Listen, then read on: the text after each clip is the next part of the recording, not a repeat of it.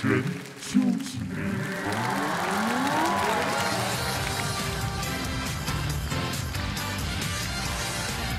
好，电视机前的各位，大家晚上好，欢迎您收看我们这一期的春季我们约会吧。在这里也特别感谢今天到场的各位我们湖南卫视的超级粉丝们来支持我们今天节目的录制。好，姑娘们辛苦了。接下来我们来看看上场男嘉宾他的爱情最主张他不要什么。我不要爱说善意谎言的女生，我不要不爱干净的女生，我不要从小娇生惯养、有公主情节的女生。好，掌声欢迎男嘉宾登场。欢迎这位来自世纪佳缘交友网站的男嘉宾。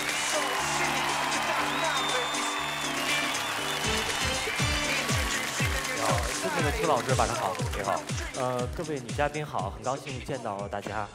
我是李依晨，来自于美丽的北京市海淀区。我的爱情交友宣言是：今生若得你相伴，只羡鸳鸯不羡仙。好，来，接下来让我们有请 Mr. Right 为我们匹配出前三十位女生。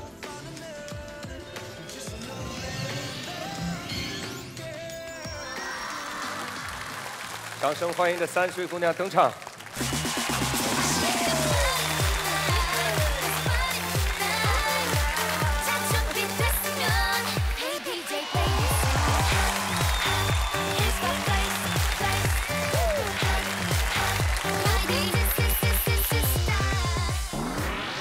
掌声欢迎李晨先生，请全场亮灯。帅哥来了，来，我看一下姑娘们的精神状态。李晨有没有相中一个姑娘啊？心仪的那位姑娘？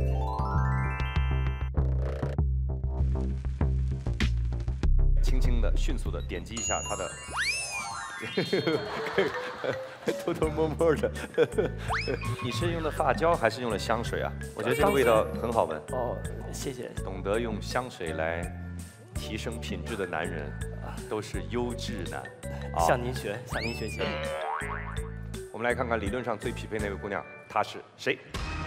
和男嘉宾最匹配的是十一号王纯。这位女嘉宾来自世纪佳缘交友网站，匹配总分：基本情况八十二，外形七十四，兴趣八十一，个性七十，家庭六十，婚姻七十七。哇，这 Miss the Right 今天是喝酒了吧？哎，王晨同学，难得第三次、第四次匹配上了哈，真不容易。来说一下生活中的爱好。最大的爱好是睡觉，就特别能睡，每天基本上十二个小时以上。然后很喜欢美食，就比较喜欢吃。都是我的爱好。嗯，我也爱好美食，我也喜欢睡觉，嗯都不错。然后嗯，比较喜欢你，谢谢。那你喜欢我吗？呃，我很高兴认识你，咱们一会儿可以更加深入的了解一下。然后还有啊，刚刚经过他身边，真的有有那种香味儿，但是启明哥不是香水味儿，是男嘉宾的体香。我，谢谢。就是我北京家那个，我们家旁边有个很大的超市，这个超市里边有卖这个男人味儿的，我拎了一瓶过来，刚喷了一下。低调奢华有智慧。好了，三十位姑娘，我们接下来自己动动手吧，来看一看我们第一眼对于男嘉宾的印象。来，开始。谢谢谢谢大家。十二号丁红芳啊，来，你灭灯的理由。他长得挺高，还行，就是他长得太黑了。我长得也黑，肯定影响下一代。我喜欢长得白的。我是晒出来的，因为我每年的冬天我都会去海南家里边去待一段时间，然后天天都可以晒。啊，还有就是，通过你们刚才的谈话，我觉着你简直高富帅。我是矮黑穷，根本不在一个档次上。还有一条矬。启明哥，你太配合了！我第一轮灭他灯就是想他看我几眼，你简直太配合我了，达到我的小目的了。好，来，我们再来看看其他美女的这个看法哈。你从我身边走过，我觉得是一个像风一样的男人。像风一样的男人，哇！对，这个我们应该怎么理解呢？就是一阵风走过去，特别高大。啊，就高大，然后呢又难以捕捉的那种，对是吧？不会吧就？充满着魅力，对，是吧？你是我的第一印象，哦，那现在呢？第二印象怎么样？演得很好，站如松。像松一样，哎呀，评价有点高。谢谢。男嘉宾，我不知道为什么，就是只要站在你身边的，不管是男的女的，我都觉得是情敌。让我为你吟一首诗吧：十里平湖霜满天，寸寸青丝愁华年。对影望月两相护，只羡鸳鸯不羡仙。谢谢，嗯，真的是知音，真的是知音。我刚才从那个楼上跳下来的时候，然后我就说了，我的那个，对我也感受到你传达给我的爱意了。你刚才给我一个这个手势，感受到他那个滚滚而来的热情了吧？是就是你是风儿，他是沙。好了，接下来这个环节呢，我们来清晰的、认真的、更加详细的了解一下我们的男嘉宾。来看 V 三，大家好，我是李奕晨，北京人，出生在北京的军人家庭。从小有英雄情节的我，在上大学的时候就选择了我儿时的梦想。毕业之后呢，我满怀信心的准备开始我的演员生涯。我印了几百份资料，去过很多剧组，见过很多导演，去跑组，去投递资料，去试戏。每一次我都是满怀希望，但是最后我都是失望而回。还好，我挺过了那两年最艰难的时期，终于是到零九年的上半年，我才盼望迎来了我自己参演的第一部电视剧。准备下个项目，耐力跑。我现在非常开心的是，就是可以有机会参与到更多更好的电视剧当中去。我曾经之前有过两段感情经历，最终都是因为双方成长的脚步和最终的理想不同而分开了。一女生的类型是能够理解我的工作，不会因为我没有及时回你的短信，不方便接你的电话，或者是一段时间和你见不了面而跟我闹别扭的女生。如果你是这样温柔体贴类型的女生，那我们约会吧。这位男嘉宾来自世纪佳缘交友网站。好，啊，哎，果真这个在刚刚播的那个剧中，英俊潇洒哈，那张脸可以看到内心的那种感觉。你适合演戏的话，还得演那种正面的，像当年朱时茂演的那种角色一样。啊，没错，之前演的全是正面的角色。你是演不了反派的，演不了你要演的话，一定是坏到骨子里头的那种，啊那很可怕那个。来，十一号王纯，最匹配女生，为什么灭灯了？我希望我的另外一半是一个普通人，有普通的工作，然后我们的未来应该也是相信越来越远的，所以灭灯了，不好意思。我真的是一个普通人，也许呢，就是我在我们这个行业，可能就是我会默默无闻，默默无闻，平凡的在我们这个行业里度过一生，因为这个行业确实很难，而且很曲折这一条路，真的。呃，其实我灭你的灯很纠结的，因为我特别喜欢你。其实，因为你给我的第一感觉就是干净、阳光，然后你的 VCR 里看着你的脸，就感觉像一束阳光一样打到我心里，让我心里感觉很甜。但是我很无奈，因为我自己有自知之明，我的形象这个样子，我我想你的的家庭是可能不会不会接受我这样形象，因为可能有点夸张，但是我不喜欢平庸，所以我比较有自知之明，我就很忍痛割爱的灭掉了。但是我很支持你。谢谢你。谢谢北京的姑娘哈。十五号付雨欣，我很欣赏您，我觉得那个军人家庭出来的男生都特靠谱，然后您还长这么帅，我到现在还有点晕的感觉呢。哎呦，千万别这么说，真的。也就是咱们这个演播大厅装修比较好，如果有地缝的话，我就钻进去了，真的。我一点儿也不帅，我只是长得，我长得确实很很正，就是像个好人，是个好人。接下来，请我们进入到大拷问这个环节。我们来看一看，通过我们 Mr. Right 的一系列的问题，看看李奕晨对待感情是一个什么样的态度。好，有请 Mr. Right 大拷问。拷问开始。你单身多久？嗯，我单身已经有接近三年的时间了吧。之前的感情是由谁提出分手的？之前的都是由对方先提出分手的。能说说原因吗？因为我这个人是，我个性非常善良，我觉得有的时候我主动提出分手来，会给女孩造成这个非常大的一种伤害。嗯，然后两个人感情渐渐变淡了，有的时候还是我等到对方先提出来了。你会用什么方法等到对方提出分手呢？一段时间不见面，见面机会越来越少，然后他有的时候电话我也没看见就不接了，短信有的时候我看见我也就不回了。嗯，最后就是。就不在一起了。拷问完毕，谢谢。那个男嘉宾，你因为你特别善良，你就不会主动提分手。假如说我特别喜欢你，让我死命追你，你会不会因为你的善良就接受我了？以你的美貌，我觉得去，别说是你主动追求别人了，就是在你的家乡，也许有很很多人男人去爱慕你，去暗恋你。我觉得，我。我觉得低调奢华有智慧。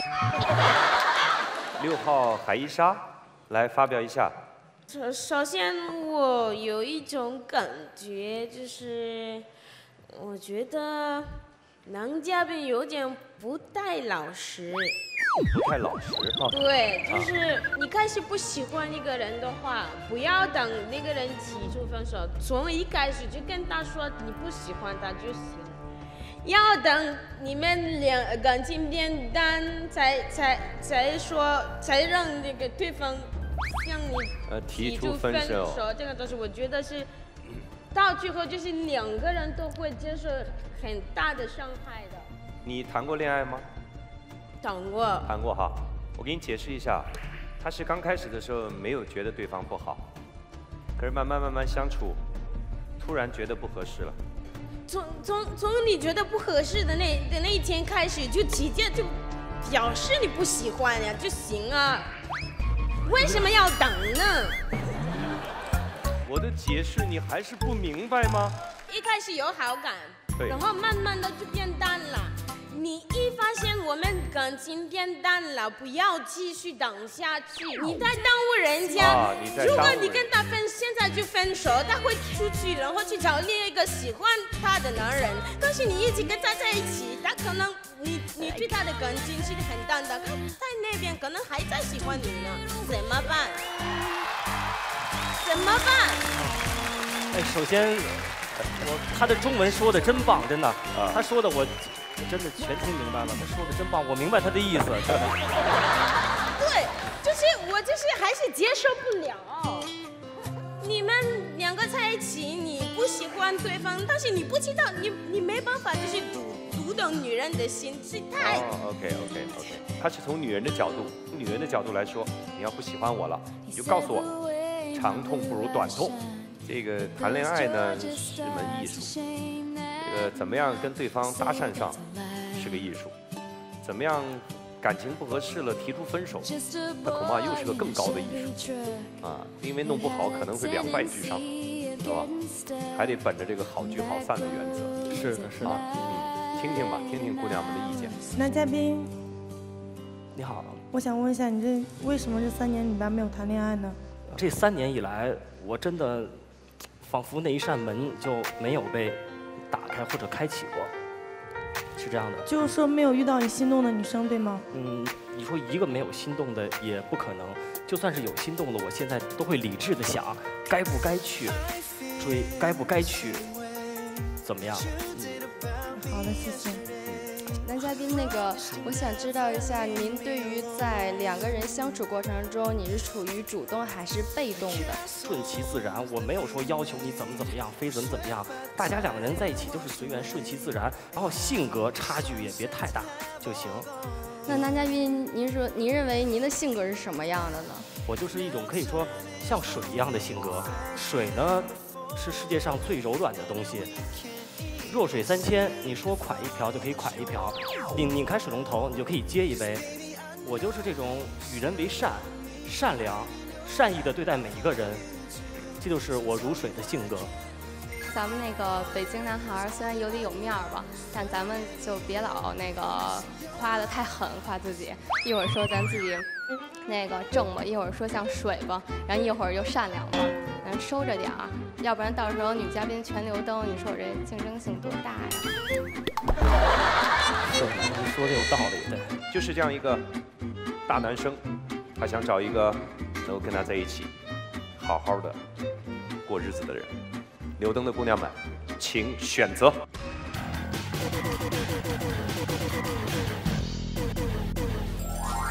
谢谢。那现在现场呢有六位啊留灯的。嘉宾你好。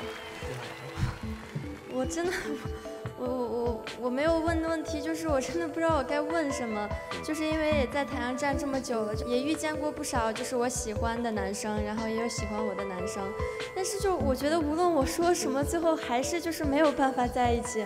就是你站了那么长时间，突然觉得再等也无望了，干脆就是这个。签了算了，是这意思吗？不是这个意思，就是他是我喜欢的那种类型，我是喜欢那种很绅士，然后很正直的人。我觉得男嘉宾一切就在跟他们别人女嘉宾的沟通中，我觉得他是我要找的人。男嘉宾你好，你好。那个自从上次就是在这里模仿了那个刘欢老师之后，台下呢女嘉宾就给了我一个名字叫做欢哥。我已经就是很久没有就是见到一个男嘉宾，然后就是整个就是荷尔蒙就分泌到很厉害，我就觉得说该出手时就出手啊，红红火火闯就走啊。然后我这个人跟你一样，就是很善良，就是不会先提出就是要分手，所以你也你忍不了我，你也不会提分手，我也不会提分手，所以我们就是永远不分离。女人多的地方是非多，扮可怜，搬弄是非，什么花招都有。启明哥就是性子太好，如若这约会吧让我掌管，必将铁拳铁腕，铁石心肠。重拳之下。我看谁还敢跟本宫抢男人？该灭的赶紧自己灭了。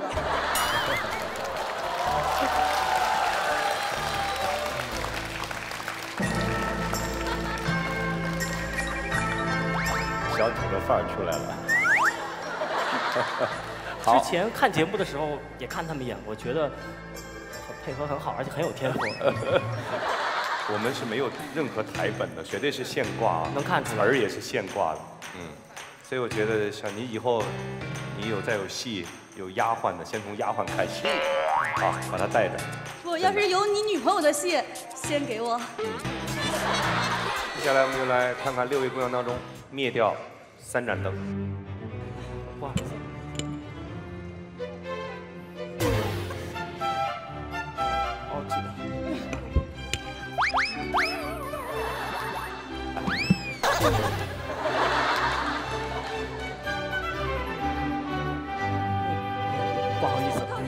什么你才能不灭我？哎呦，不好意思，我。三位用一分钟的时间，再一次告诉我们的男嘉宾，你为什么要为他留灯？男嘉宾你好，我觉得你是我喜欢的样子，嗯，然后我愿意陪你去看你所有没看过的电影。我会做饭、洗衣、收拾屋子，在外我可以工作挣钱，然后真挺喜欢你的。之前有好几个男嘉宾，本宫也给他演过戏了，这这是演戏是本宫的拿手绝活，本宫给他们演过，但是他们没有选择本宫，那几个伙计最后的下场都不太好，所以你看看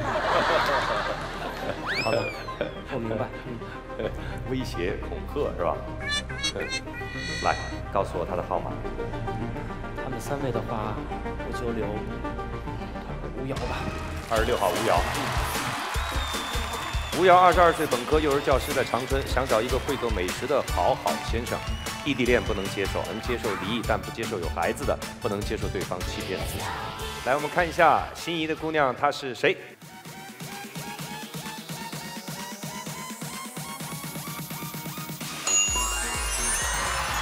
七号，柴赫。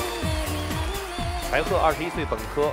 第一场地勤签派实习，不能接受小心眼儿的男生，希望对方是成熟稳重、有上进心，一八五以上，年龄二十五到二十九岁之间。来看一下两位姑娘和男嘉宾的匹配分值：吴瑶和李洪涛匹配总分六十一分，基本情况七十五，外形六十，兴趣六十六，个性五十七，家庭六十，婚姻四十九。柴鹤和李洪涛匹配总分六十八分，基本情况八十一，外形八十二，兴趣六十一，个性六十九，家庭六十二，婚姻五十六。二十六号吴瑶是专门为你留灯的，所以他百分之百的愿意跟你走。但是心仪的姑娘七号财赫，他自己灭了灯，他可能会拒绝你，也可能会答应跟你一起离开。五、四、三、二，李晨，请选择。